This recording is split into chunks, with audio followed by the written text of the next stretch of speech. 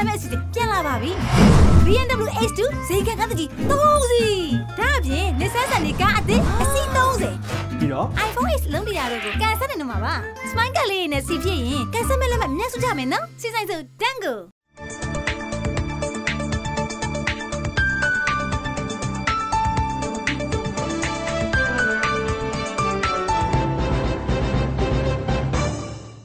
မင်္ဂလာပါမြစီမာ TV ရဲ့နောက်ဆုံးရသတင်းတွေကိုတင်ဆက်ပေးတော့မှာဖြစ်ပါတယ်ဖားကန့်မြို့နယ်ကကြောက်စိမ်းကုမ္ပဏီလောက်ကွက်ဟောင်းတစ်ခုမှာတောင်ကပယံပြိုကျပြီးအ ਨੇ ဆုံး15ဦးသေဆုံးက90ဦးနီးပါးဒဏ်ရာရရှိခဲ့ကြပါတယ်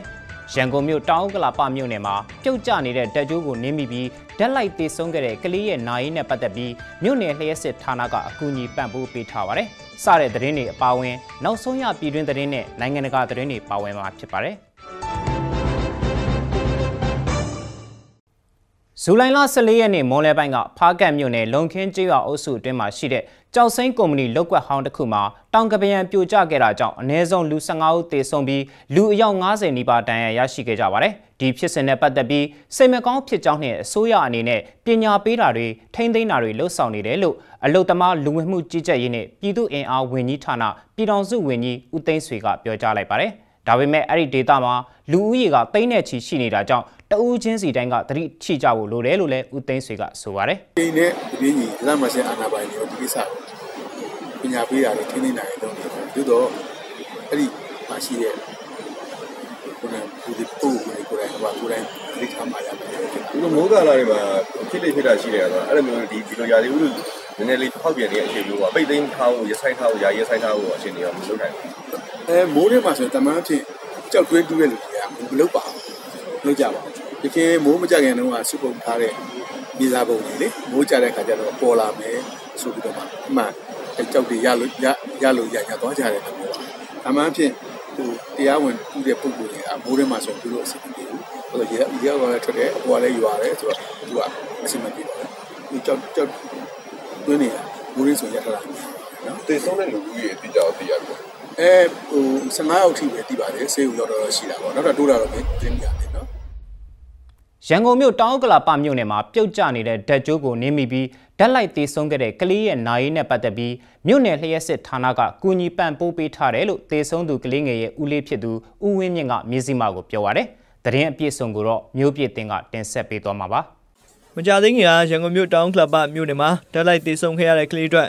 EBC ကရက်လေတဲ့အထိကူညီပေးသွားမှာဖြစ်တယ်လို့တေဆုံတဲ့သူရဲ့ဦးလေးဦးဝင်းမြင့်စီကသိကြပါတယ်။နောက်ပြီးတော့တူဖြစ်သူတေဆုံတာအတွက်စိတ်မကောင်းဖြစ်နေကြပေမဲ့ သူတို့အနေနဲ့မကျေနပ်တဲ့အချက်တွေပြောနေရင်တေဆုံတဲ့သူပြန်မရှင်းလာနိုင်တဲ့အတွက်မပြောတော့ဘူးလို့လည်းမိသားစုဝင်တွေဘက်ကဆိုပါတယ်။ရရရတဲ့ဒါမနက်ကလည်းဒါသူတို့မှာကိုကြီးပံမိုးရမှာကိုတရားသူမှရှိပါတယ် အဲ့တော့ခုရနာကလေးတယောက်ကိုလည်းဖြစ်တဲ့အတွက်ကြောင့်ဒီဆုံးမလာဒီလိုလည်းနားလည်းမကြည့်တယ်အဲ့တော့နားလည်းမကြည့်တဲ့အတွက်ကြောင့်ဘယ်လို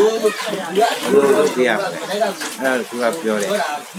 ကျွန်တော်ကလည်းဘယ်လိုလုပ်ပါဘဝလုပ်ပါမပြောဘူးအဲ့သူတို့ကပြောရတာတော့ဆုံးကြတော့ဒီခုနှစ်ရက်ရက်တယ်တဲ့အထိ ဒီကလေးကိစ္စမှာအကုန်လုံးလိုလေသေးရှိတန်ဖိုးခုန်ပါလိုအပ်တာတွေပြောပါကုတေဆုံးခဲ့ရတဲ့သူကအသက်73နှစ်ရွယ်ရှစ်တန်းကျောင်းသားမောင်မျိုးမင်းထွန်းဖြစ်ပါတယ်။သူကဇူလိုင်လ23ရက်နေ့ညနေပိုင်းကကျူရှင်နားချိန်မှာပြင်ခနာထွက်ရင်တောင်းကလပ်ပါမြို့နယ်တန်တုမာလမ်းပေါ်ကရေရှမ်းတဲ့နေရာမှာပြုတ်ကျနေတဲ့တကြိုးကိုနင်းမိပြီးလဲကျရာကနေတေဆုံးခဲ့တာပါ။ဒီဖြစ်အတွက် EBC နိုင်ကူညူအသင်းဖွဲ့တွေနဲ့ လူတော်ကူတွေကလာကူညီကြတာရှိတယ်လို့တေဆုံးသူရဲ့ဦးလေးကပြောပါတယ်။နောက်ပြီးတော့တေဆုံးသူမောင်မျိုးမင်းထွန်းကိုဇူလိုင်လ15ရက်နေ့ကျရင်ရေဝေးတုတ်တမှာပို့ဆောင်ပြီးတကြိုသွားမှာဖြစ်ပါတယ်။ဆက်ဆက်ကအကုန်ခုန်ကြီးွားတဲ့ခါကျတော့ကျွန်တော်တို့မှပြည့်စုံတယ်မပြည့်စုံတော့မရှိပါဘူးအဲမပြည့်စုံတာခုသူတည်းဆုံးထားတယ်မပြည့်စုံတာအဲ့ဒါပါ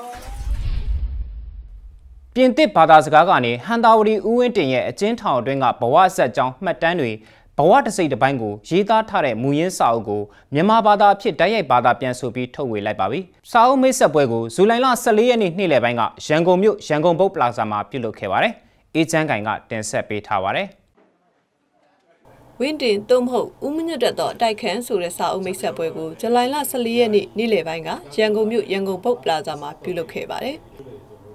ဒီစာအုပ်ဟာပြင်သစ်ဘာသာကနေမြန်မာဘာသာအဖြစ်စာရေးဆရာမသွေးစကိုင်းကလေးနှစ်ကြာအချက်ယူပြီးဘာသာပြန်ဆိုထားတာဖြစ်ပါတယ်။ဒီစာအုပ်မှာဆရာကြီးဦးဝင်းတင်ရဲ့အကျဉ်းထောင်တွင်းကဘဝဇက်ကြောင့်မှတ်တမ်းတွေနဲ့ဘဝတစ်စိတ်တစ်ပိုင်းကိုရေးသားထားတာပါ။ဒီစာအုပ်ကိုလူငယ်တွေဖတ်ရှုခြင်းအပြင်သတင်းစာဆရာကြီးဟန်တာရီဦးဝင်းတင်ရဲ့စိတ်နေသဘောထားနဲ့အယက်သားအစိုးရတရက်ဖြစ်ဖို့ခက်ခဲစွာဖြတ်တန်းခဲ့ရတဲ့အကြောင်းတွေကို သိရှိရလိမ့်မယ်လို့ဘာသာပြန်တဲ့စာရေးဆရာမသွေးစကိုင်းကပြောပါတယ်စာအုပ်ကိုဖတ်တယ်ဆိုရင်တော့အနည်းဆုံးတော့ဘဝဝင်းတင်ဟာဘယ်လိုလူစားဆိုတာကိုသူတို့သိသွားမယ်။ပြီးရင်ပေါ့နော်ဒီအခုရရှိထားတဲ့ဒီလိုအစသားအစိုးရတရက်ဖြစ်ဖို့ဆိုတာလိုလွယ်ကူကူနဲ့မရခဲ့ပဲနဲ့ဒီနှစ်ပေါင်း30ကျော်လောက်အတိုက်ခံဘဝမှာဖိနှိပ်မှုတွေရက်စက်မှုတွေကြမ်းကြုတ်မှုတွေကိုကြံ့ကြံ့ခံပြီးတော့မှလုပ်ခဲ့တယ်ဆိုတာသိပြီးတော့တို့ဟာပေါ့ဒီလိုလွယ်ကူကူရထားတယ်မဟုတ်တာမဟုတ်ပဲနဲ့ဒီစစ်အာဏာရှင် ရဲ့အောက်ကိုကျမတို့နောက်ထပ်တစ်ခါပေါ့နိုင်ငံမကြရောက်တဲ့အတွက်ကိုယ့်ရဲ့တူးတယောက်ချင်းကြီးယူရမယ့်တာဝန်ပေါ့နော် responsibility ဘယ်လိုယူရမလဲဆိုတာမျိုးသိနာနိုင်မယ်ဆိုရင်ဒီစာအုပ်ကိုကျမဘာသာပြန်ရဂျုံနဲ့တယ်လို့ကျမပြောချင်ပါတယ်ဒီစာအုပ်မူရင်းကိုရေးသားခဲ့တဲ့ပြင်သစ်နိုင်ငံသူဆိုဖီမာလီဘိုဟာမြန်မာနိုင်ငံကိုတိတ်တဆိတ်ဝင်ရောက်လာပြီးသတင်းစာဆရာနဲ့နိုင်ငံရေးအကျဉ်းသားဟောင်းဖြစ်တဲ့ဟန်နာရီဦးဝင်းတင်နဲ့တွေ့ဆုံခဲ့ပါတယ်။အဲ့ဒီစာအုပ်ထုတ်ဝေပြီးတဲ့နောက်ပိုင်းမြန်မာပြည်ဝင်ရောက်ခွင့်လဲပိတ်ပင်ခံခဲ့ရတယ်လို့သိရပါတယ်။ ဒီမူရင်းစာအုပ်ကိုစာရေးဆရာမသွေးစကိုင်းကပထမဦးဆုံးဘာသာပြန်ဆိုခဲ့တာပါ။စောင်းမိတ်ဆက်ပွဲမှာမြို့သားဒီမိုကရေစီအဖွဲ့ချုပ်ကမုံရွာအောင်ရှင်လက်တက်ရောက်ခဲ့ပြီးဟန်တာရီဦးဝင်းတင်အမှတ်တရစကားတွေကိုလည်းပြောဆိုခဲ့ပါတယ်။ဆရာဘာပြောလဲဆိုတော့သတင်းစာဆိုတာတဲ့သတင်းစာဆိုတာအမှန်တရားကိုဖော်ထုတ်ရမယ်လူတုဘက်ကရိုက်ရမယ်အမှန်တရားကိုဖော်ထုတ်ရမယ်နောက်တစ်ခါထပ်ပြောတယ် အမှန်တရားကိုဖော်ထုတ်ရင်လည်းမကဘူးတဲ့သတင်းစာဆိုတာအမှားတရားကိုလည်းဖွင့်ချတိုက်ခိုက်နိုင်ရမယ်ဒီလိုပြောတယ်ဒါဆရာရဲ့သတင်းစာနဲ့ပတ်သက်လို့မီဒီယာနဲ့ပတ်သက်လို့မှတ်သားစရာကောင်းတဲ့စကားပါပဲဒီဆောင်မိတ်ဆက်ပွဲမှာဝါရစ်စာရေးဆရာကြပြဆရာကြီးတွေစာပေဝါသနာရှင်နဲ့နိုင်ငံရေးအကျဉ်းသားဟောင်းတွေလည်းတက်ရောက်ခဲ့ကြပါတယ်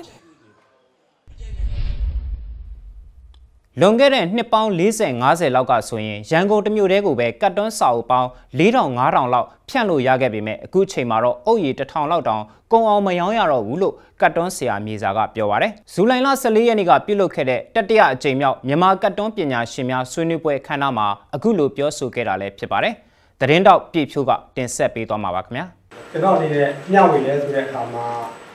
ဆိုတော့ကျွန်တော်တိတာလေးတက်တာလေး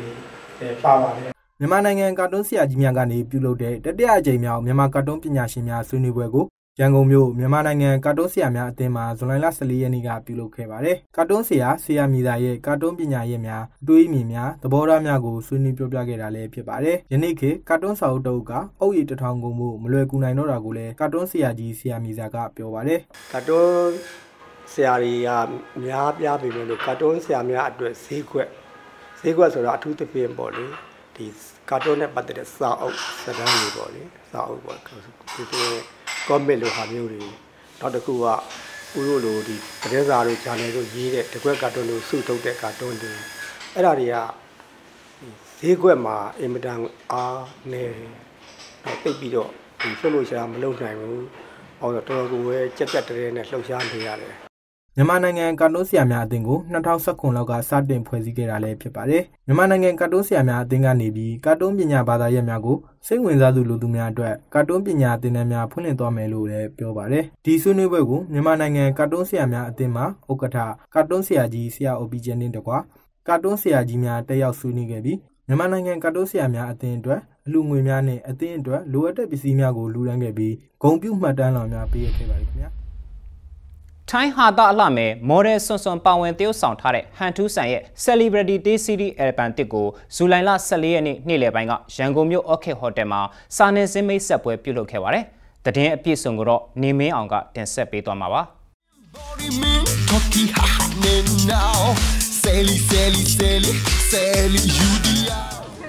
ထိုင်းနိုင်ငံရဲ့လူမှုကွန်ရက်တွေမှာဟာတာဗီဒီယိုဖိုင်လေးတွေနဲ့နာမည်ကြီးနေတဲ့မေယာဆွန်ဆွန်ခေါ် model ဆွန်ဆွန်က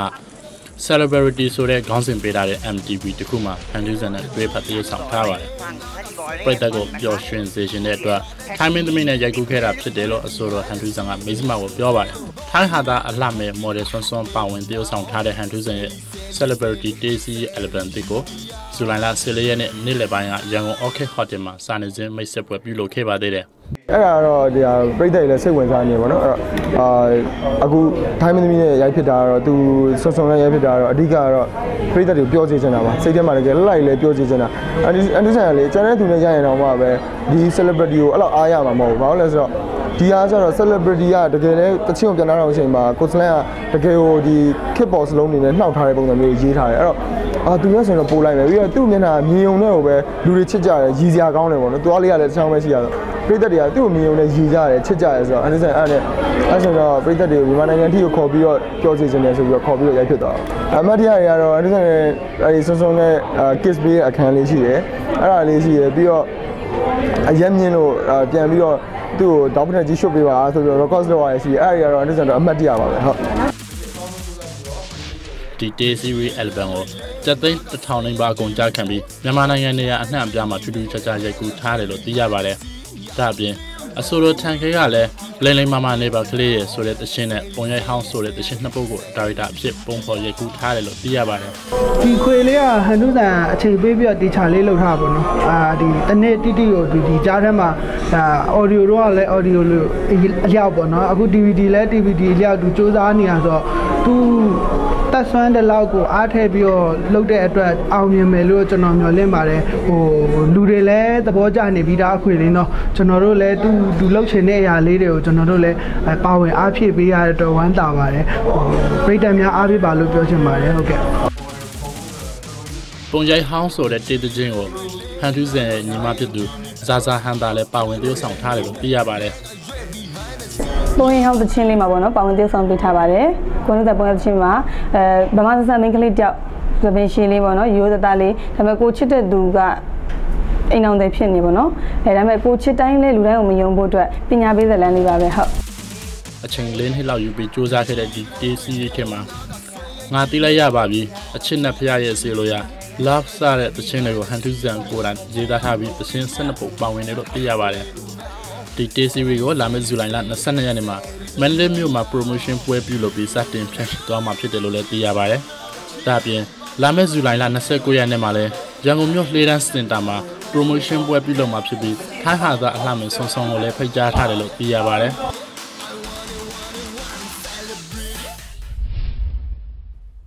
နိုင်ငံတကာသတင်းတွေဘက်မှာတော့အနောက်အာဖရိကနိုင်ငံတနိုင်ငံဖြစ်တဲ့ Ivory Coast နိုင်ငံအရှေ့တောင်ပိုင်းမှာရေလွှမ်းမှုမှုဖြစ်လို့လူပေါင်းရာနဲ့ချီဘေးလွတ်ရာကိုအားချင်းရွှေ့ပြောင်းကြရတယ်လို့သတင်းတရက်မှာဖော်ပြထားပါတယ်။နိုင်ငံအရှေ့တောင်ပိုင်းကအပွိုင်ဆူမြို့မှာရုတ်တရက်ရေကြီးမှုကြောင့်မြို့နေမိသားစုပေါင်း200ထက်မနည်းစာတင်ကျောင်းတွေစီတွားရောက်ခိုးလုံနေကြရတယ်လို့သိရပါတယ်။ရေပေးနေတဲ့ကုမ္ပဏီကကျမတို့ကိုပြီးခဲ့တဲ့3ရက်လောက်တုန်းကတော့သတိပေးခဲ့သေးတယ်။ဒါပေမဲ့အခုလောက်ထိအခြေအနေဆိုးလာလိမ့်မယ်လို့မထင်မိခဲ့ဘူး။ အခုတော့ကျမတို့ရဲ့ရေခဲတက်တာတွေထိုင်ကုန်စပွဲတွေရေထဲမျောပါသွားပြီစားတောက်ဆိုင်လုပ်ငန်းလုပ်ကင်ရောင်းချနေသူအမျိုးသမီးတဦးဆယ်လွန်တနုံအေဂျိုကပြီးခဲ့တဲ့ဂျာတာပရိနေကပြောသွားပါတယ်အီကွေဒေါနိုင်ငံမှာတော့အယောင်အသွေးစုံတောက်ပတဲ့နှင်းစီပွင့်ပေါင်း9သိန်းကျော်ကိုအသုံးပြုပြီးကြီးမားလာတဲ့ပြိမစ်ကြီးတစ်ခုဖန်တီးတိစောက်ထားပါတယ်။အခုအခါမှာတော့အဆိုပါကြီးမားလာတဲ့နှင်းစီပြိမစ်ကြီးကိုကမ္ဘာဂင်းနစ်စံချိန်မှတ်တမ်းဝင်နိုင်မှုအတွက်အီကွေဒေါတာဝန်ရှိသူတွေကြိုးပမ်းနေကြပြီဖြစ်ပါတယ်။ မက္ကဆီကိုနဲ့အီဂျစ်တို့မှာရှိကြတဲ့ပြိမစ်အဆောက်အုံတွေနဲ့မတူဘဲယခုအီကွေဒေါနိုင်ငံတာဘာကွန်ဒိုမြို့ကရေမြင်တစ်ခုမှာတိစောက်ထားတဲ့နှင်းစီပန်းပြိမစ်ကြီးကတော့ကဘာပေါ်မှာပန်းတွေနဲ့ကြီးပဲပြုတ်လုထားတဲ့အကြီးမားဆုံးသောလူလုအဆောက်အုံဖွဲ့စည်းပုံတစ်ခုဖြစ်လာလိမ့်မယ်လို့လည်းမျှော်လင့်ရပါတယ်။လာမယ့်စနေနေ့ကျရင်တော့ဂင်းနစ်စံချိန်မှတ်တမ်းတာဝန်ရှိသူတွေကအဲ့ဒီနှင်းစီပရိမေကြီးကိုလာပြီးအကဲဖြတ်ကြည့်ရှုကြတော့မှလည်းဖြစ်ပါတယ်။အခုအခါမှာတော့အီကွေဒေါမှာဖန်တီးထားတဲ့နှင်းစီပရိမေကြီးရဲ့အယောင်အသွေးစုံနှင်းစီပန်းတွေထဲမှာတော့ နှင်းစီအနီတွေအများစုပါဝင်ထားပြီးလှပခမ်းနားနေလျက်ရှိပါတယ်။အီကွေဒေါနိုင်ငံကပန်းလှပညာရှင်တွေနေနဲ့အဲ့ဒီနှင်းစီပရိမစ်ကြီးကိုဖန်တီးရမှာတော့ပန်းတွေကိုနှစ်ပတ်ကြာတဲ့အထိနေအောင်တန်ခံနိုင်အောင်လို့အောက်ဘက်အတွင်းပိုင်းမှာရေပေးဝေမှုစနစ်တစ်ခုကိုပါထည့်သွင်းတိစောက်ထားတယ်လို့လည်းသိရပါတယ်။မြစည်းမ TV ရဲ့နောက်ဆုံးရသတင်းတွေကိုတင်ဆက်ပေးခဲ့တာပါ။မြစည်းမ TV ရဲ့အစီအစဉ်ကောင်းတွေကိုဆက်လက်ကြည့်ရှုအားပေးကြပါဦး။ ပရိသတ်များအားလုံးစိတ်ချမ်းသာခြင်းကိုယ်ဤကျန်းမာခြင်းနဲ့ပြည့်စုံနိုင်ကြပါစေ။